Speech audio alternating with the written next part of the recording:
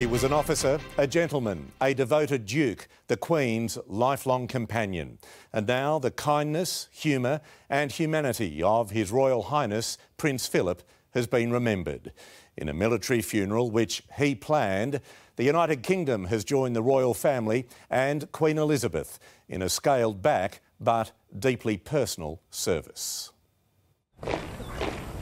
Boots on the pavement in Windsor. Royal Navy, The send off for a sailor, a duke, a husband.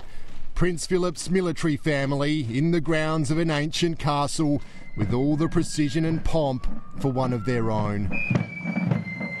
A man who was first a serviceman before a life of service. The British Armed Forces and Prince Philip's favourite black fell ponies leading off the funeral procession. On the front seat of the carriage, the Duke's cap, his gloves, and a small jar with a red lid. It's what he would use to hold sugar lumps for his beloved horses. Prince Philip wanted a slimmed down service, but within the 1,000 year old walls, there was no missing the royal pageantry. The Duke's coffin draped in his personal royal standard, on top his naval cap and sword, a wedding gift from the Queen's father, King George, 73 years ago. The Duke of Edinburgh famously once said on his death he simply wanted to be put in the back of a Land Rover and driven to Windsor. So it was on a custom built military green vehicle, all the Duke's idea, he made his final journey.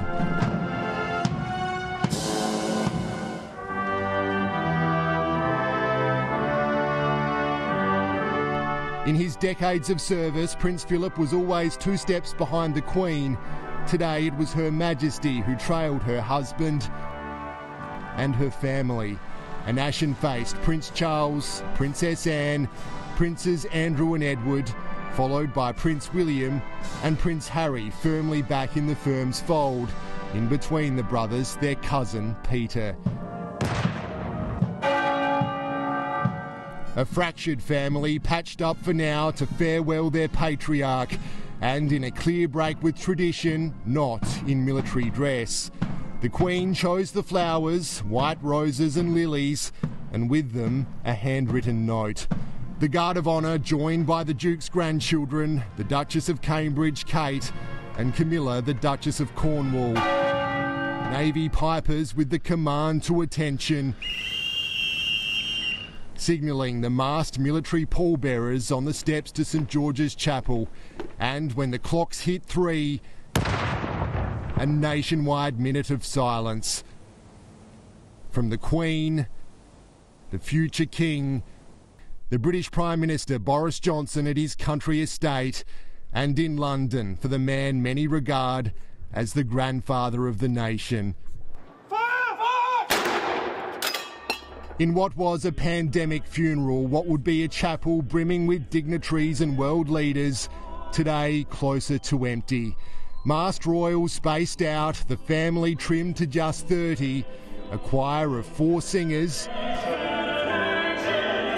And most striking of all, this image of the Queen who sat alone, isolated by the death of the Duke and COVID rules. We have been inspired by his unwavering loyalty to our Queen, by his service to the nation and the Commonwealth, by his courage, fortitude, and faith. So too Prince Harry, his head bowed for his grandfather, the military man.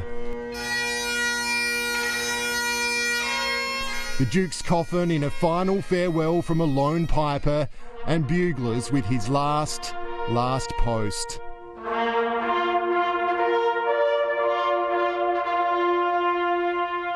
No eulogy, no sermon, no fuss. It was the funeral the Duke of Edinburgh had always wanted and spent decades meticulously planning.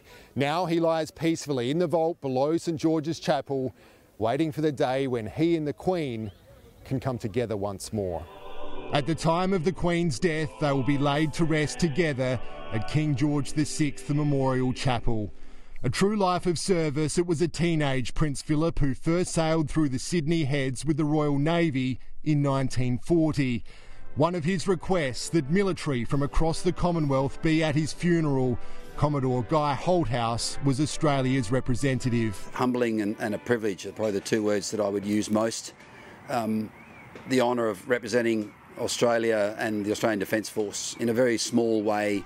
In the end, it was a funeral of precision and planning, the send off for an extraordinary royal life, a serviceman, consort to the Queen, and father. In Windsor, Ben Avery, 9 News.